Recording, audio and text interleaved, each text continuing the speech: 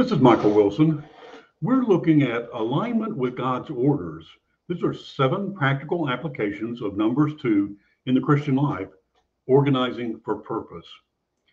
When you read Numbers 2, at first it just looks like a, a whole series of uh, directions for how Israel should organize itself around what's called the tent of the meeting.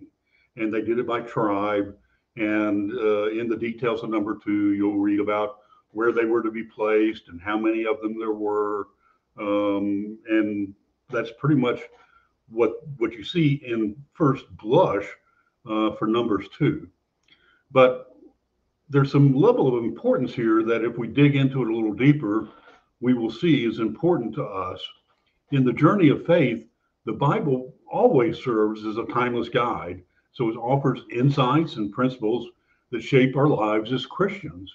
And among the many passages that provide guidance, Numbers 2 stands out as a blueprint for organization and purpose within the community of believers. While it may seem like a lot of instructions for encampment during the Israelites' wilderness wanderings, the principles embedded within Numbers 2 carry profound significance for modern day Christians. Here are seven practical applications for Numbers 2 that can transform and organize our lives for divine purpose. The first, and this is the most important, is alignment with God's order. Just as the tribes of Israel were instructed to camp in very specific formations around the tabernacle, Christians are called to align themselves with God's order.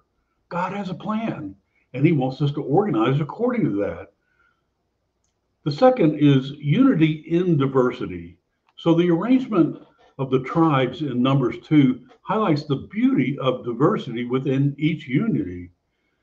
Each tribe had its own distinct characteristics, yet they came together as one cohesive unit under the banner of God's presence.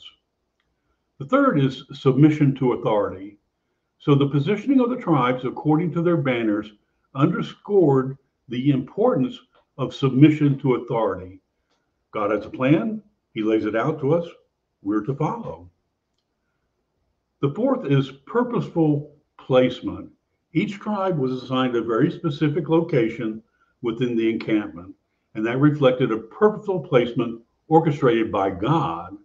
So, in our Christian journey, we need to recognize our unique gifts talents, and callings, which allows us to discover our God given purpose and how we fit together as a whole in the body of Christ uh, as the church.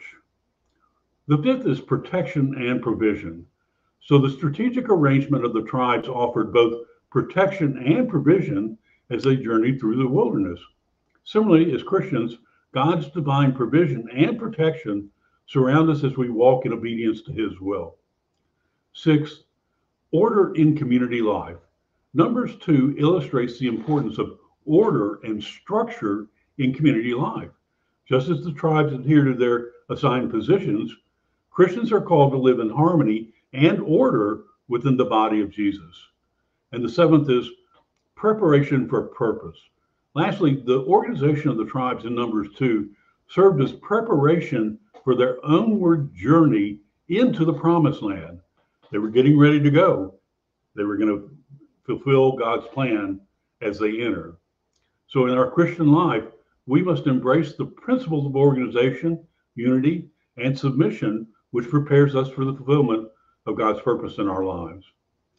So, here's the bottom line the practical applications of number two offers timeless principles that guide and shape our Christian life.